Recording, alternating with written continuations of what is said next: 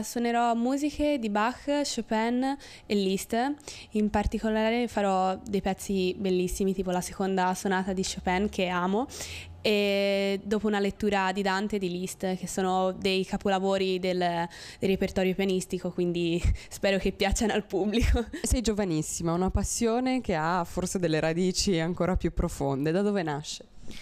In realtà i miei genitori non fanno per niente pianisti, non c'entrano proprio niente con la musica.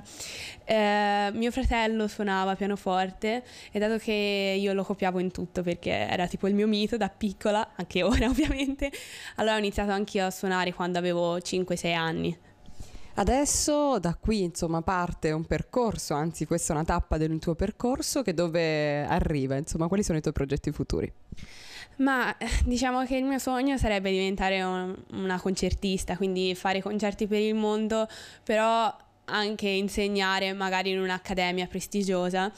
E quindi adesso per prepararmi a questo sto facendo molti concerti tipo adesso ho fatto un concerto a Livorno domenica ne ho una a Casalmonferrato poi parto per la Spagna. Quindi insomma una vita dura però si spera di raggiungere l'obiettivo. Chi questa sera ti verrà a vedere? Cosa dovrà aspettarsi? Ma diciamo che dovrà aspettarsi di concentrarsi un pochino perché nonostante siano pezzi molto belli e Chopin e Liszt siano anche autori abbastanza orecchiabili, sono abbastanza lunghi, quindi richiedono una concentrazione leggermente alta, però non se ne pentiranno sicuramente.